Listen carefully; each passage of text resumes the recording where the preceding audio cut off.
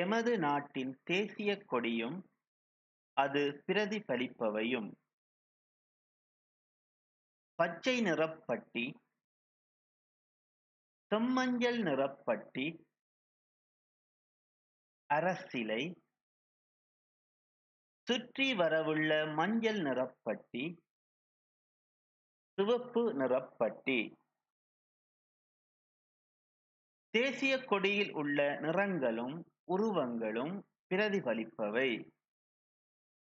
சிவப்பு நிற பின்னணியில் மஞ்சள் நிற வாளேந்திய சிங்கம் சிங்கள மக்களை குறிக்கிறது.